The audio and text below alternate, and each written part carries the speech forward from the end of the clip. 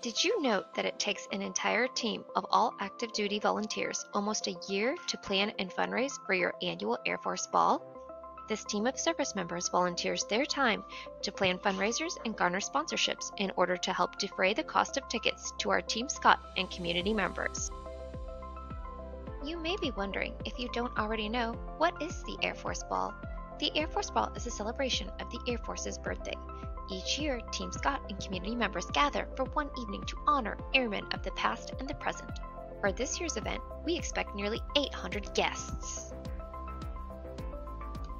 I bet you're thinking that you or your business may not be in the place to help these 2019 committee members plan a top notch Air Force birthday celebration for hundreds of guests. But we're here to tell you that anyone can play a part in making the Air Force Ball a world class event for Team Scott members. First, anyone can help by donating goods or services to directly support the ball or to support a fundraiser for the ball.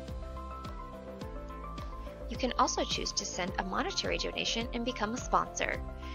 Any sponsor who sends $100 or more in sponsorships or donated services and or goods will be featured in our evening's program.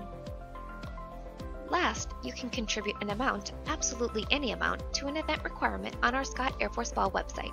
Here, you will find links to donate money towards event requirements like music services or decorations.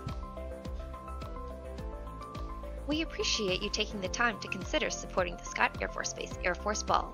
If you have any questions, shoot us a message on Facebook at Scott AFB Air Force Ball or send us an email at scott.airforce.ball at gmail.com. As a friendly reminder, the Scott Air Force Ball Committee is a private organization. It is not part of the Department of Defense or any of its components, and it has no governmental status.